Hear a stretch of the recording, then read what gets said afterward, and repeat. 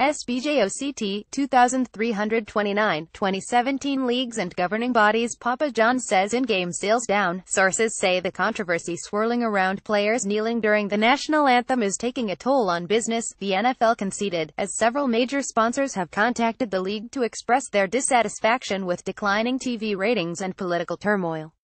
Papa John's, Long Connie. This is a Sports Business Journal article. Perhaps you are not logged into your SBJ account or you are not an SBJ subscriber. To access this article, please click Login, Subscriber Free Trial.